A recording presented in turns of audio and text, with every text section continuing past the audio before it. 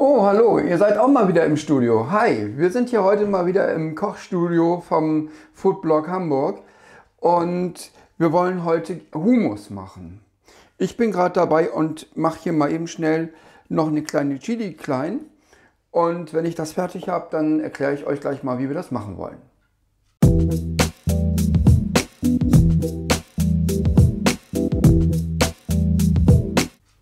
Wir machen heute einen Hummus und dafür gebrauchen wir Kichererbsen. Man kann die Kichererbsen auch getrocknet kaufen und die dann muss die dann aber für 10 Stunden einweichen und dann kochen. Ähm, ich habe so ein paar Bekannte und auch einen Kollegen, über den ich das überhaupt erst kennengelernt habe. Also ich habe das schon so ein paar Mal gegessen.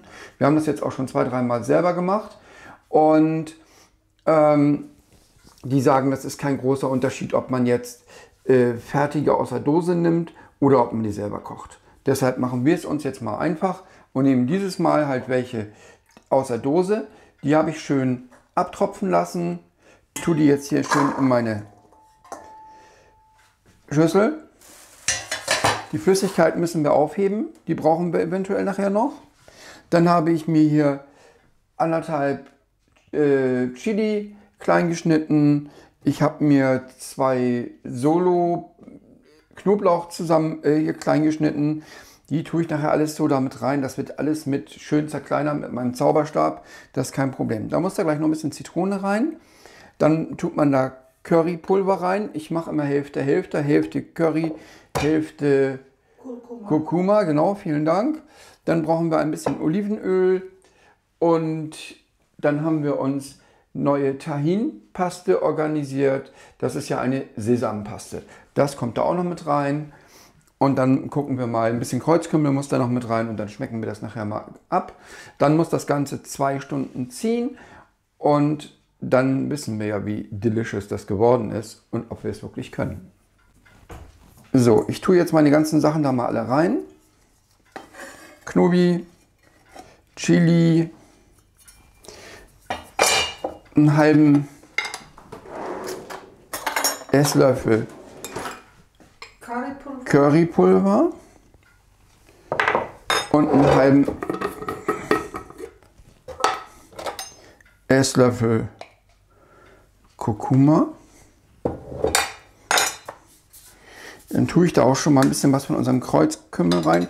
Es soll ein Esslöffel voll werden. Ich glaube, das reicht erstmal. Wir können das ja immer noch nachgewürzen. Das ist ja nicht so das Problem. So, dann tue ich davon, tue ich jetzt von dem Tahin da einfach mal ein, äh, zwei Esslöffel hinein. Ich nehme mal neun Löffel.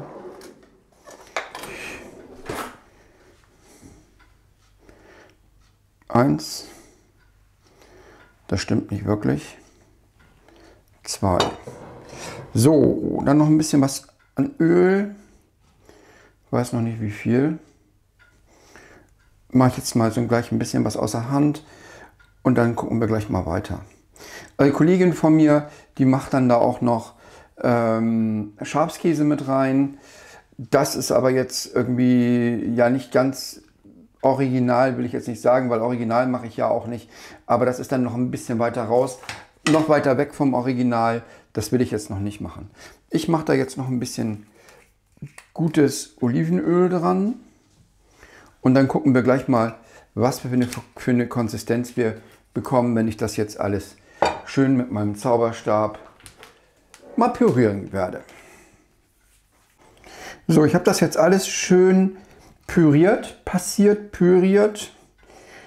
Und jetzt kommt da ein bisschen, fällt mir da erstmal was rein, was da nicht rein soll. Toll. Das will doch auch keiner da drin haben. Schlimm. Doch, das ist schlimm. Das will doch keiner im Mund haben. So, jetzt tun wir da nochmal schön Limette rein. Alle tun da ja immer Zitrone rein. Ich mache da jetzt Limette rein. Ich finde den Geschmack von der Limette ein bisschen schöner als von der Zitrone. Ja, finde ich auch besser, ne? Ja, also ich habe mal in Tunesien Zitrone gehabt, frisch vom Baum sozusagen. Das war richtig geil. Das hat mir auch richtig Spaß gemacht. diese Zitronen, die wir hier haben, die sind im Grunde immer nur eins, nämlich mega sauer und finde ich, bringen überhaupt keinen Spaß. So, das war aber noch nicht genügend. Ich tue da noch ein bisschen mehr rein. Auf die Menge tue ich jetzt erstmal eine Zitrone bzw. Limette da rein. Die ist mir nicht wohlgesonnen. Das ist richtig hart, ne? Ja, ich, normalerweise rolle ich die immer so, so auf der so, ja. Arbeitsfläche. Fläche. Weil ihr jetzt aber dabei seid, habe ich gedacht, ich muss das alles mal ein bisschen schneller machen hier wieder.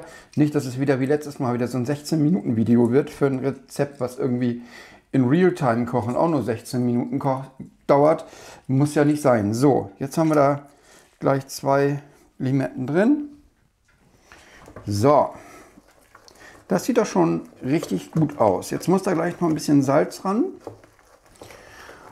Und dann sieht das eigentlich schon ganz gut aus. Warte mal. Salz, Salz, Salz, Salz. Salz ist weg, wie immer.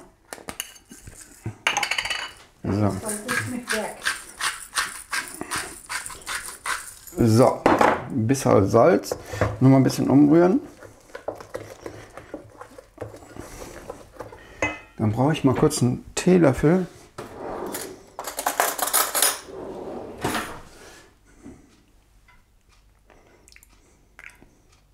Und? Ja, ist schon, schon ganz geil. So, ich habe da jetzt noch ein bisschen mehr Kreuzkümmel ran gemacht und noch ein bisschen Limette. Das heißt, ich habe jetzt anderthalb Limette da drin und etwas mehr als einen Esslöffel Kreuzkümmel. Also einmal kurz Revue passieren lassen, was ich jetzt gemacht habe. Ich habe die Kichererbsen äh, mal eben schnell püriert, habe da reingetan Chili, anderthalb rote kleine fiese äh, Schoten. Dann habe ich da reingetan zwei Solo Knoblauch thailändische. Dann haben wir da reingetan zwei Olivenöl, ein Esslöffel, zweieinhalb Esslöffel Tanin. Tahin. Ähm, und dann haben wir das Ganze richtig schön püriert, so dass wir so ein schönes Püree bekommen. So, das hat jetzt ein, ein bisschen Schärfe, hat diesen typischen Geschmack. Der Knoblauch ist so ein ganz bisschen bis jetzt erst da. Ich werde das jetzt nehmen, werde hier eine Folie drüber machen und dann wird das zwei Stunden ziehen. Und dann ist das nachher tippitoppi. Das heißt, wir sehen uns in zwei Stunden. So, zwei Stunden sind um. Unser Hummus hat hier schön in unserer Schüssel gestanden. Hatte da schön Folie drüber. Dann haben wir uns das jetzt hier auf unseren Teller getan. Und dann werde ich das jetzt mal mit ein bisschen Fladenbrot probieren. Mal gucken, ob das so toll geworden ist, wie ich es haben will.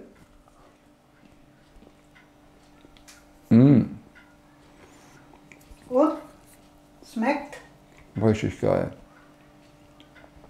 Bin begeistert. Schön, toll. Im Grunde keine sehr aufwendige Sache, aber ultra schmackhaft. Hm, richtig gut. Willst du nicht auch mal probieren, Schatz? Probier du auch mal. Ja, Komm. mach ich. Und so, Schatzi, dann. Probier doch mal. Mach ich so erstmal die Fladenbrot.